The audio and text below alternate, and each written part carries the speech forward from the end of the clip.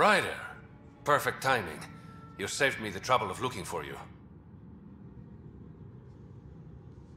Something wrong? Have there been more murders? Nothing so morbid. This is actually a personal favor. A business rival, Zia Cordier, lifted cargo I was moving for a client. You want my help getting it back? We worked so well together on the Roekaar job, I thought you'd be willing.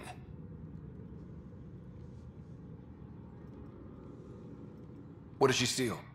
No idea. Client paid extra for privacy. Considering my fees, it must be valuable. You didn't check? Understood the price. And the client paid it. How'd this rival of yours get hold of your cargo? Her usual tactics. Got my middleman drunk, then stole his ship. Sounds like you know from experience. Please, I keep to a three-drink maximum when I'm on a job. We cut the profits, 50-50. 60-40. Final offer. Deal. When she stops in Kadara, Zia drinks at Kralla's song. We'll start there. See if Umi heard anything that could help us.